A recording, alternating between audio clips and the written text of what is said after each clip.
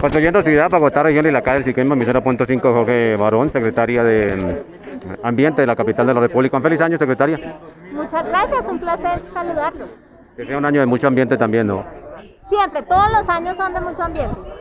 Bueno, hablemos de la actividad que hemos tenido hoy también con eh, Transmilenio Ambientalmente Sostenible. ¿Qué representa eso para la Secretaría de Ambiente y para Bogotá? Bueno, estamos felices de acompañar al sector movilidad y a la empresa Transmilenio en, el anuncio de que somos la ciudad latinoamericana con más buses eléctricos. Solamente ciudades en China están por encima del número de buses eléctricos que tiene Bogotá y esa es una maravillosa noticia en términos ambientales por dos motivos principales. El primero, la crisis climática.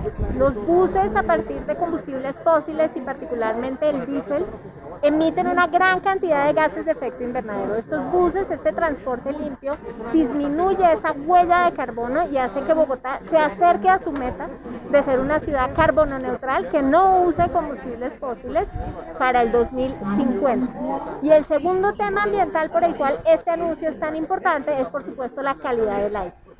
Calculamos que se van a dejar de emi- de emitir 37 toneladas de material particulado en Bogotá por año gracias a este cambio en los buses, que realmente van a salir aquellos buses más viejos, más contaminantes y va a entrar la tecnología de punta que no tiene esas emisiones y que sobre todo para los pasajeros y quienes esperan en las estaciones va a significar un cambio realmente notable en el aire que respiran. Recordemos siempre que más de 2.000 personas mueren por motivos relacionados con la calidad del aire en Bogotá cada año. Cualquier esfuerzo que hagamos por tener unas mejores condiciones de calidad del aire va a significar una mejora en la calidad de vida de las personas. Y también que se puede beneficiar también los ciudadanos porque hay mucho ruido también dentro de los eh, articulados y demás y de los demás eh, transporte público que tenemos en Bogotá, ¿no? Por supuesto, también es importante recordar que el ruido es un tema que causa muchas riñas en Bogotá, particularmente entre vecinos, pero cualquier intervención que nos sirva para disminuir esos niveles de ruido es también una protección a la salud de los bogotanos. Se cambio radicalmente el tema, hablemos de mascotas también. ¿Cuál ha sido el comportamiento ciudadano? Porque siguen desarraigando también a los, animal- a los eh, animalitos del- de su hábitat. Recordemos que la fauna silvestre siempre va a estar mejor libre y en casa. Durante el 2020 la Secretaría de Ambiente recuperó más de 3.000 animales que estaban en tenencia ilegal en casas y en hogares de personas que muchas veces ignoran la ley. Canarios, loras, eh, miquitos, toda clase de animales, incluso reptiles que la gente tiene en su casa. Hemos recuperado y liberado un enorme número de animales.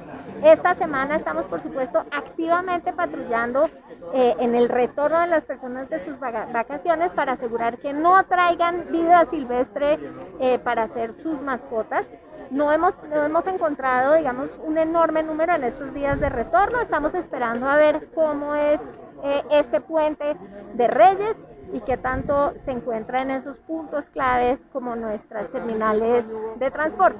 Hasta ahora encontramos un mono titicas cabeciblanco y un buen número de canarios que venían de la costa, pero no hemos encontrado un cargamento muy grande.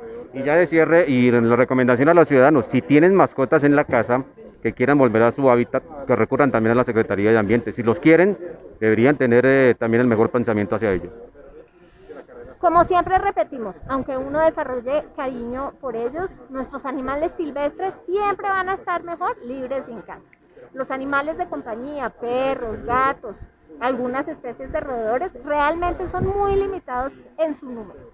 La mayor parte de las aves, los reptiles, eh, todos estos animales que pertenecen en las zonas silvestres deben ser entregados a la Secretaría de Ambiente. Llámenos, nosotros podemos evaluar la especie que tengan, si realmente pertenece en libertad, le haremos un proceso de rehabilitación para su posterior liberación. Si le tienen cariño a los animales, déjelos libres y en casa.